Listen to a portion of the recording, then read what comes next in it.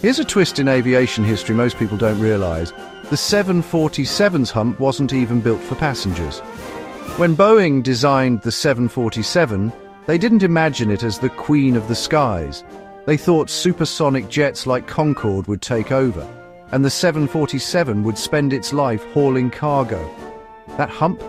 It was just space above the nose door for crew.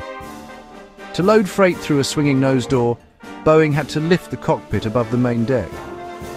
That simple engineering solution created the 747's iconic silhouette, purely for practicality, not luxury. When supersonic travel never took over, airlines turned the hump into first-class lounges, bars and premium seating.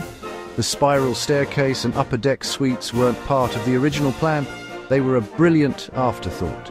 Originally for cargo, cockpit raised for nose door, repurposed into luxury space became an aviation icon.